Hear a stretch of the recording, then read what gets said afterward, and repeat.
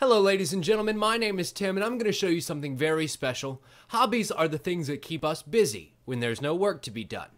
And this has been my hobby for the last little bit. Eventually, it will be a massive fight scene covering the entire wall, but that will take some time. Each character is made one by one, very simply, with a little bit of cork, a little bit of cardboard, and some paint thrown over top for good measure. And today, I'm going to show you how to make them. The first thing you want to do is watch this video all the way through before attempting to dive in. The temptation will be to just grab everything and work right alongside me, but we're dealing with very sharp objects and careful paintwork with this project, so a little bit of planning goes a very long way. Watch the video first, understand the instructions, and then you can go back and watch it again, work with me if you need to. Now, with that little disclaimer, let's begin. For the purpose of this video, I picked three different size sprites to show you how easily this method can be adapted to whatever you need.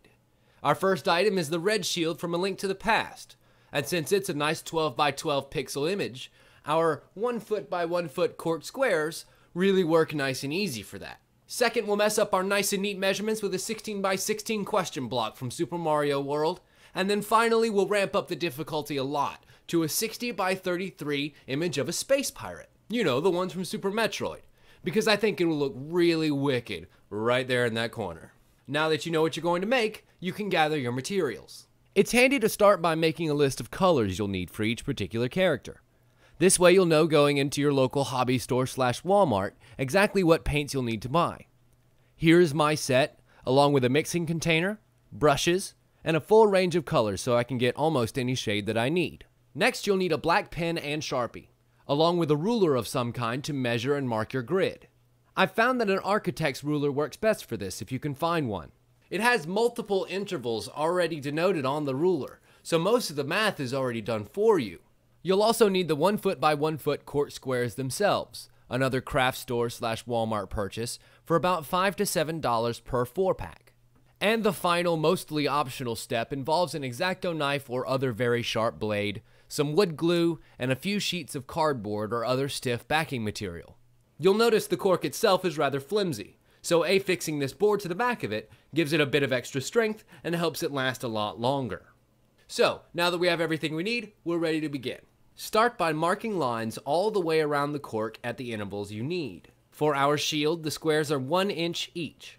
Our question block gets a mark every 3 quarters of an inch, because we need to fit 16 pixels into a 12 inch space, and 12 divided by 16 gives us 0.75 inches per block.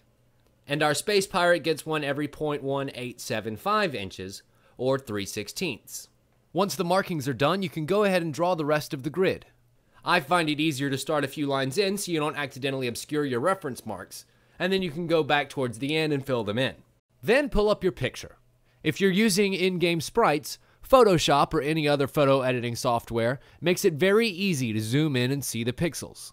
Using that as a reference, carefully trace the outline of your design. This will be the line you color inside, so make sure to include every part of the picture, including the borders on the inside. You will also make use of these lines as a reference as you paint, so making sure the shape is right now can save you a lot of headache later on. And now it's time to break out the paint. Start with the border and any outlines in the design.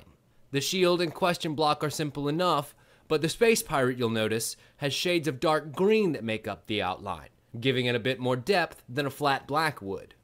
As for coloring them in, our shield has four colors red, gold, dark gold, and black. You can use a flat red, but I'm going to mix in a small drop of black to give it a slightly darker tinge. For the gold, adding a drop of brown to yellow gets it where we need, and then making another and adding a few more drops of brown darkens the hue enough for the outer edge. Now those are just my best judgments. You're more than welcome to use whatever mixing technique and color wheel you so choose to get whatever shades that you need. Our question block has five colors, white, black, yellow, and two shades of tan to create depth. And our space pirate is worst of all with four different shades of green, four different shades of purple, and this burnt sienna type color in the eyes that I think is really cool. Don't worry. Take your time. Being very careful in those tiny squares. Work methodically. Start with one set of colors, let them dry, and then move on to the next one if you don't feel comfortable enough in tackling the whole thing at once. The important thing is the work is done correctly. not quickly. Once the paint is dried, you can use any remaining color to clean up any mistakes and then you're ready for cutting. Now you don't have to. You can paint the remaining area some other complementary color, frame the entire thing as it is, and hang it up. Or you can very, very carefully cut out your character using your X-Acto knife.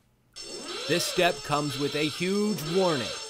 This can be rather tricky, especially in, say, our Space Pirate that has a lot of tiny nooks and crevices that require very deft turns of blade.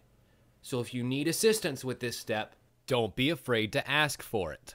Work smartly, cutting out larger, unneeded areas before diving into the smaller details, making the remainder easier to work with. Remember that for cutting away excess, you don't have to follow the lines. So now that our figure is cut out, we just need to sturdy it up a bit. Trace out a section from your backing material just larger than your design. After you cut this part out, place your glue along the back of the cork, using a tool to help spread it evenly if you need, with special attention given to the edges. Press it onto the cardboard and leave it to dry, adding weight to the top if necessary. Once the glue is dried, you can cut out the remaining backing board and then you're mostly done unless you're feeling especially perfectionistic like me, in which case you can take the final product and go around the edges with an appropriate border color to give it that same depth from all sides. And that's about it. Everything you need to know to create your own corkboard army. I love making these because not only does it stretch some creative muscles that I don't get to use very often, but let's face it, I can't draw for crap, so this may be the closest I actually get to being able to make art. Down below, you'll find a list of all the materials as well as other resources that may be able to help you. Let me know what you think down in the comments below, as well as any other characters you think I might be able to use in my little collage. Now go, play with some paint. Thank you so much for watching, everyone, and as always, we'll see you next time.